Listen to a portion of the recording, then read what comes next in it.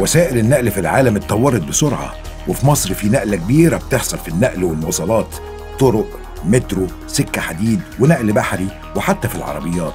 كل ده وأكتر هتشوفه في مصر من أكبر شركات العالم في تكنولوجيا النقل والمواصلات.